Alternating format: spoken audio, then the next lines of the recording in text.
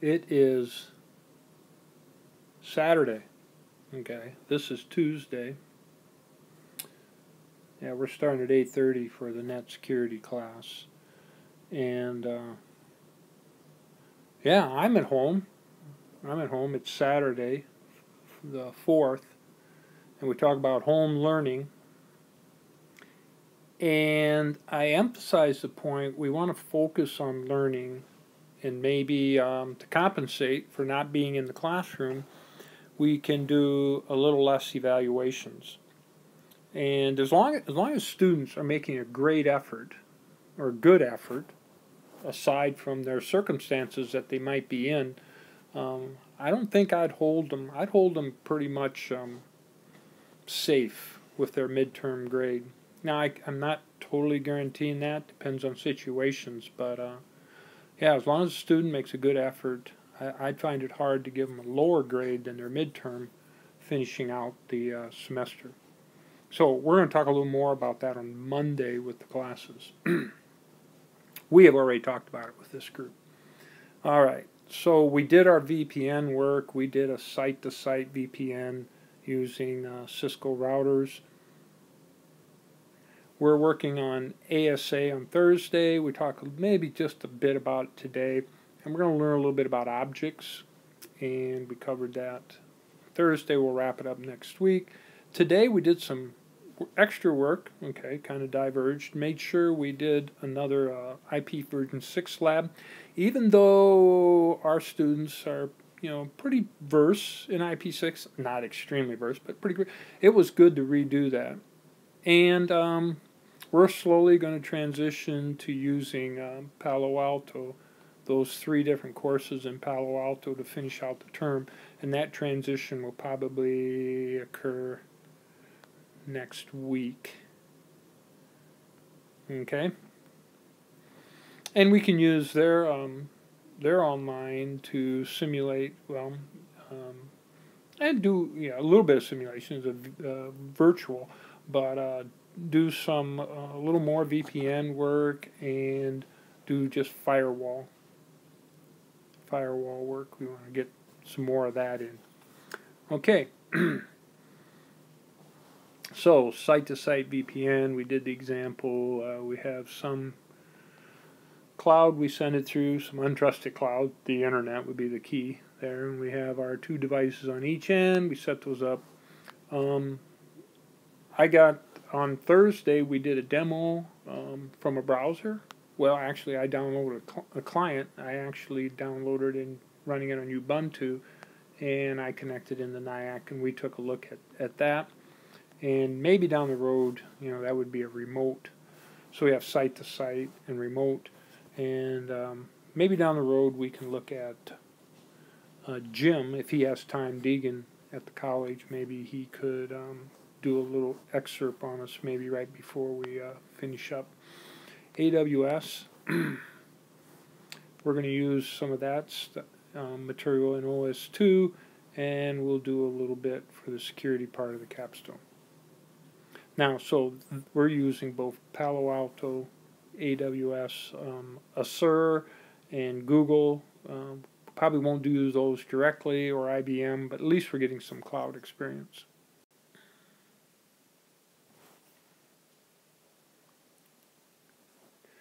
All right, so uh, Cisco, we um, we already talked about the remote part. For example, if I had a remote, I could go to the cloud connect in. We did a site to site, router 3, router 1. We talked a little bit about interesting traffic causing the that to and we use access lists to identify the interesting traffic, which then got the tunnel going in terms of setup. That ACLs they have to mirror, and and we need to mirror the two sides when we make the connection. Now we used a pre-shared key, okay? We use internet key exchange, in, but we use pre-shared key, but we could have also used a public shared key to do that same problem. Um, maybe we could do one of those before we uh, end the, the term. So, then, I think this was a lab. We set up a lab. We're going to use these, and um, we actually set it up for IP version 6. And then I, I talked about an example. Um, Mason City want to connect to Cedar Falls, and this is back when we didn't have great um, WAN connections, and one student on this project said, well, Design Lighting ought to move their offices to Clear Lake because they have better connections to connect to the other place. What they want to do is they want to manage your inventory in, here in Mason City so people here could, uh, or either place, could check the inventory and see exactly what people had. And then they could easily move the product, get the product moved between the sites without having to. What they were doing is they were literally calling on the phone and trying to get a hold of somebody here. Here it is. I'm not going to go through the whole thing. The um, we used unique local addresses. Uh, I believe this is what they used slash 64 for IP6. You know, everybody would should do that. At least what I read. We also um, extended um, uni is it extended uniform interface? Anyway, this is this is where it takes the MAC address, puts it in the interface. We'll talk a little bit about that. So they uh, they used this address left.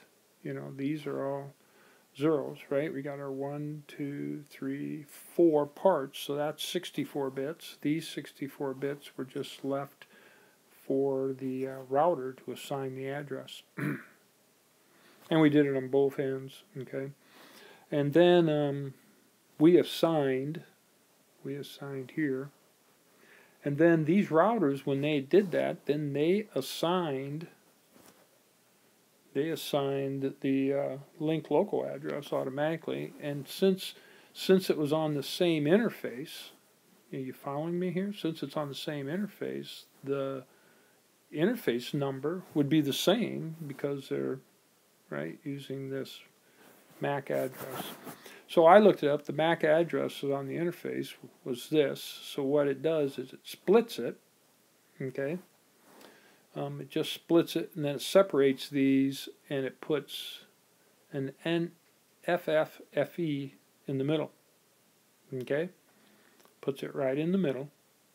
It has to get to 64 bits. So here we're at 48 bits. Need 64, so we add 16. Okay? You math wizards, yeah, you should be able to add that in your head. Then it takes the seventh bit and it inverts it. I'm not going to go totally into it, but it inverts. So if you took the seventh bit there and inverted it, one, two, three, four, five, six, seven, eight. So here's the seventh bit. Okay. In this scenario, it would be a zero, so it inverted it, so it made it a one, which then made that hexadecimal number there a two. All right. If you need more on that, I can cover it later. Okay. So Right. We uh, we then had um, connectivity between these.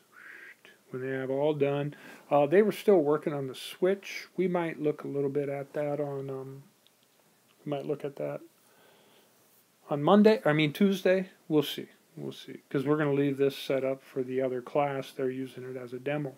That worked out really well. I better keep moving. So information. All right. It's now I say that all the time. It's now uh, Thursday. And we uh, revisited here. We revisited Zoom, the Zoom sessions, and it's actually working really good. As soon as we get done recording on Zoom, Zoom is a good platform for video conferencing. It's a good platform for storage, and it is amazing how well how well it's functioning with the huge increase in demand for the service. I mean, it's really amazing. So, what it's doing now, we um, pay for a Panopto service. Uh, Zoom, we've got, you know, so much storage in the cloud. Panopto, we have so much storage in the cloud, but it's way more. So, and then, because what we use Panopto for is pre-record. Okay, you can pre-record your information, put it in here, and then since it's in the cloud, okay, then people can get at it from anywheres. Yeah, there's a little service out there that does the same thing. Ah, it's supposed to be a joke. Okay, so then um, what happens now, Zoom automatically moves it to Panopto. I put it in a directory.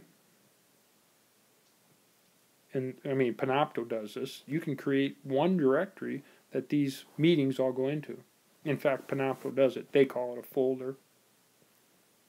Right? That's probably the term most people would use.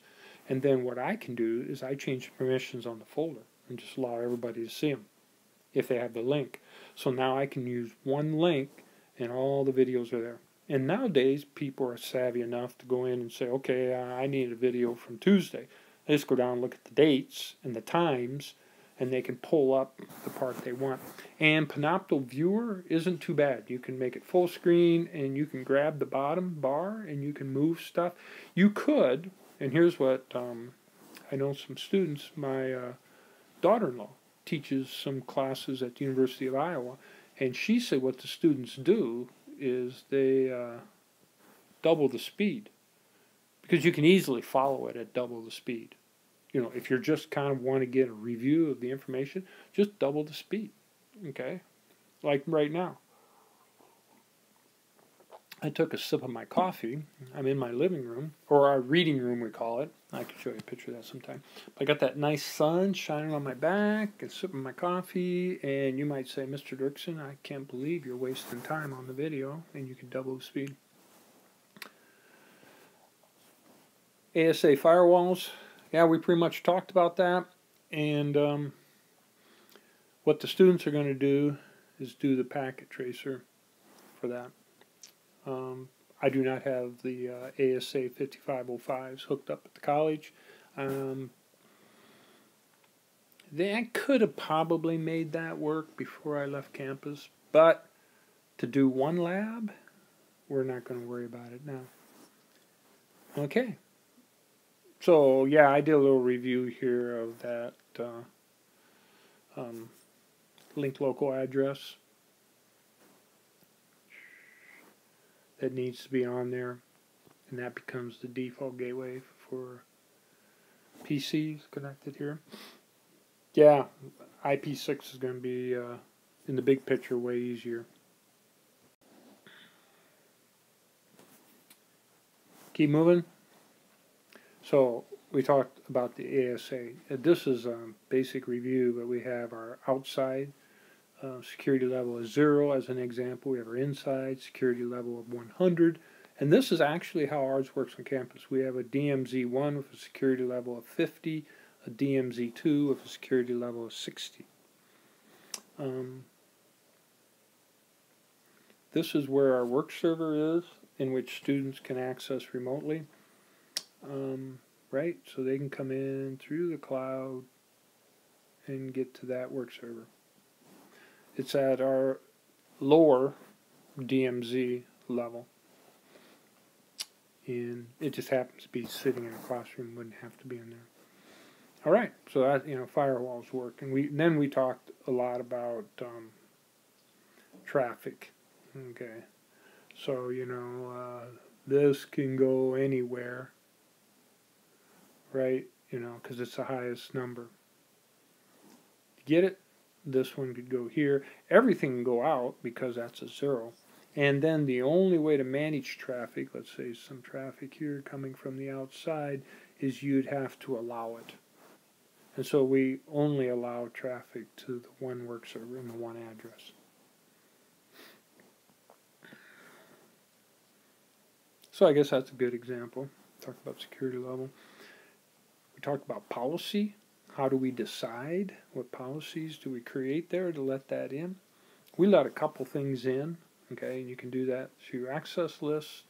You know, we have network access. We can expect it, have an inspection engine. Uh, inspection engines used a lot in this realm. You know, traffic heading out. We look at what kind of traffic it is. so we can let that traffic back in, especially if you're going to the big, mean, awful internet or the great, wonderful, beautiful internet or everything in between.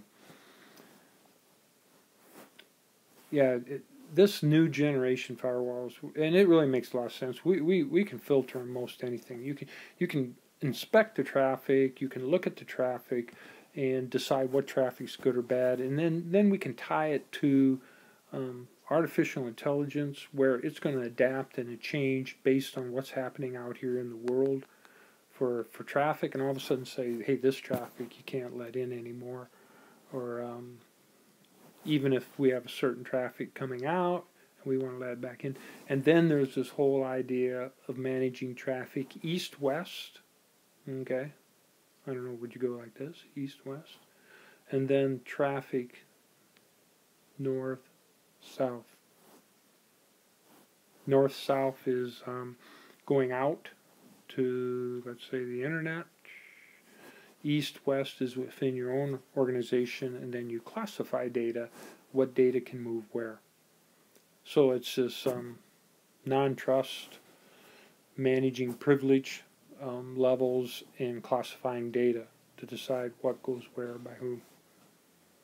Now, on our ASA, we have IOS, where we did uh, integrated services routers. That's what we did already. We did a little bit of firewall work with that and then the uh, ASA with firepower that gives us this cloud capabilities, and they have firepower devices. They first bought that from SourceFire, which built it out of Snort, which is an open open source intrusion detection system, and um, Cisco bought them, you know, X amount of dollars, but you usually pay extra for that. ASA 5505. Um, use small businesses. Okay, set up VLANs. Um, we can have uh, AS. We can have a firewall act as a router device, which I do most of the time, or it could be a transparent or what they call stealth mode, in which that's just a bump on the wire where it's going to look at the traffic transferring through. a little bit more like a switch, maybe. Okay. Oh, we talk about licensing. You got to make sure you understand the licensing for your firewalls and how much traffic they can handle so you don't underbuy. because traffic going in and out of an organization is probably going to increase before it decreases. Just take our current example of everybody working from home.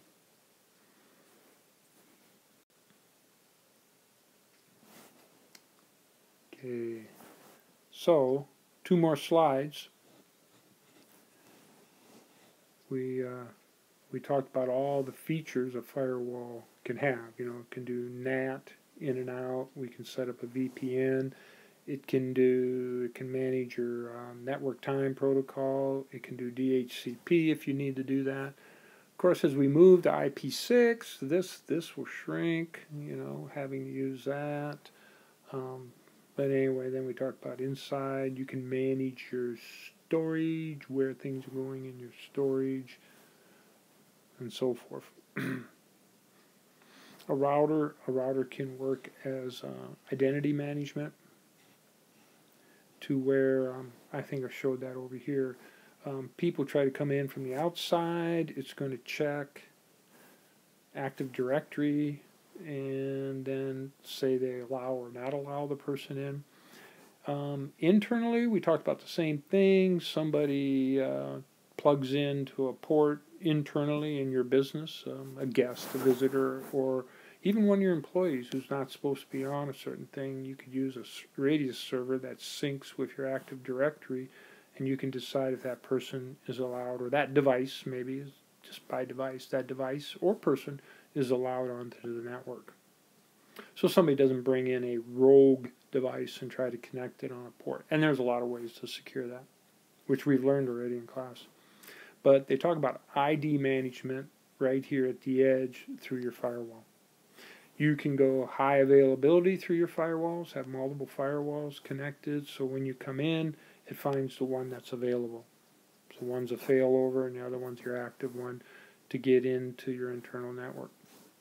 Um, you can have a firewall uh, split up virtually and have different security contexts. You could have uh, one firewall look like three. So it's similar to um, virtual machines, and then each one can carry its own security context for your traffic. You know, I talk about this all the time. Layers. Doing something like these things, identity, you know, identity, identity, uh, security, whatever. If you can stop traffic before it gets to your actual servers, it makes a lot of sense to check here whether somebody should be in or not before they actually get to the real servers. Okay? One more slide. We, whoa. Let me undo that. Undo that. Okay. I think I'm back. Okay. I'd be curious to see if it kept recording. For example, uh, work server um, 2 you know, we just have an object name for that. Oh, let me go. I'm on the wrong page. Yeah. So, we talked about objects. We'll finish up here. Sometimes configuring devices becomes more and more complex. So if you can organize things, for example, networks, you can give a name to a host address and just call it an object. Okay? And then you refer to that name in your configurations. Um, for example, um, work server 2. We'll see how this turns out. This could be crazy. Um, work server 2. Yeah, I'm still going here. Work server 2. Um, we have you know, a host name for that. So in the firewall, the ASA 5520, we can just refer to it by the name rather than constantly having to type in the IP address. Okay? You can give a whole subnet and, um, you know, one subnet with an address, or you can give a range of addresses. You can see how this would help access control list in terms of managing access control entries. We can create service objects in which um, they use a service and maybe a uh, exit port number like TCP www traffic. Okay, and then you can take these from above and group them, object groups. So you can create um, groups of objects together and then reference the groups. Uh, last time I read IP6, you couldn't nest objects here. You know, more or less, you'd have a, a group object, and then that would reference another group object. So you'd have a group object and a group object. Okay, but I'd have to research that and look it up. Okay, so we talked a little bit about here to wrap up routers, the, AC, ACLs, the entries look the same, but the list might be managed a little different than an ASA. Okay, that is it. Thanks for your patience if you listen to it all the way to the end. Take care of yourself.